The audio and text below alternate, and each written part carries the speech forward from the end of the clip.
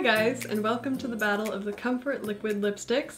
I know those two words don't really sound like they should go together, but we're going to explore a few different brands today which are some good options for comfort matte lipsticks for people with incredibly dry, dry lips. But I had to check out the new Charlotte Tilbury Hollywood Lips, which are a liquid lipstick, and I picked up the shade Screen Siren, which is a beautiful, beautiful red, and I was so surprised with the results that I actually decided to make this video. We will save this one for last because it is a red, so it does kind of stain the lips just a little bit. So let's talk about the NARS Lip Glides. I made another video swatching a few different colors of these, but we're just going to talk about Bound for now. And these lip glides are one of my favorite formulas because they're almost like a hybrid between a lipstick and a lip gloss.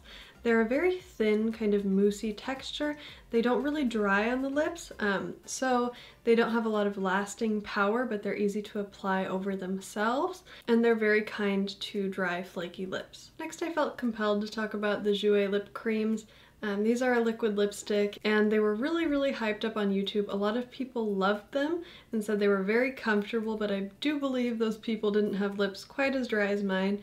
Um, I'm sorry, but I'm not even gonna swatch this on my lips for you today, just because this is incredibly drying. When you apply it, it's a really kind of thin, liquidy texture, which is nice, but somehow it doesn't get into the lip lines.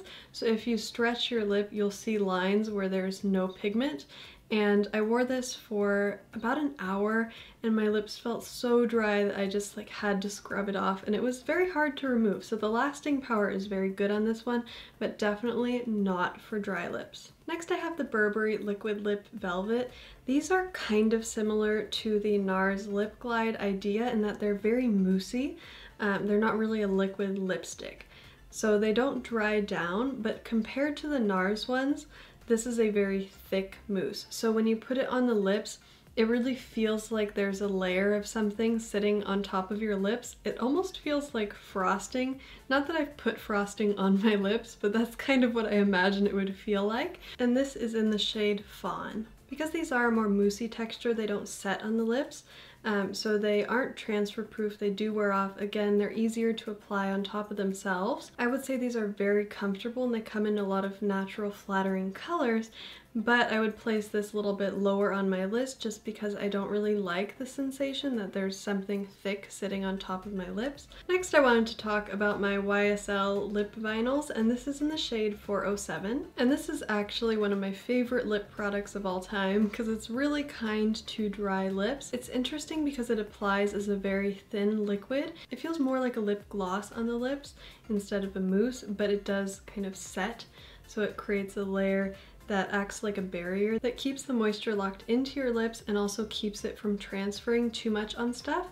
I would say it sets about 90% so you do get just a little bit of transfer but it doesn't really wear off on the lips. Lastly, we have the Charlotte Tilbury Hollywood Lips in Screen Siren. It has a really interesting applicator. It's like a doe foot, but it has a little concavity in the middle of one side so it contours to your lips. And I would describe this as a very thin kind of liquidy mousse. This particular one dries down to kind of a satin matte, but she does have also shimmers in her collection and I kind of love these. This one is also supremely comfortable, like you barely notice it on your lips and it's a liquid lipstick. So that was really strange to me because um, most of the time they're a little bit annoying on dry lips, but I kind of forgot I was wearing this and I actually wore it to Starbucks for like a few hours and I was drinking coffee and the red was coming off like all over the coffee cup so I just assumed that it was gone and then when I got up to go to the bathroom and I looked in the mirror it was all still there and it hadn't like moved or gotten anywhere on my face and I was really surprised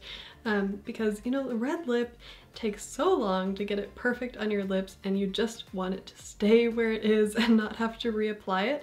So this thing is actually really magical. And this and the YSL are what I would consider the only true liquid lipsticks just because these are the only ones that really set on the lips. The other ones do stay a little bit more of a moussey or glossy texture. And I do think one of the reasons why the Charlotte Tilbury liquid lipstick is so comfortable is because it does only set about 95%. So it sets just enough that it doesn't really like come off of the lips, um, but it's not like drying, like sucking the moisture out of your lips. So that's why you do get a little bit of transfer, but I was really pleased with the formula of this one. So in order of my favorites, I do think the Charlotte Tilbury Hollywood Lips is number one. The YSL Lip Vinyl would be my number two. The NARS Lip Glides are a very comfortable three. The Burberry Lip Velvet sadly comes in number four. And lastly, the Jouer. Please don't forget to give this video a like if you have found it helpful and subscribe if you would like to see more videos like this. Thank you all so much for joining me today and I will talk to you all again really soon. Bye!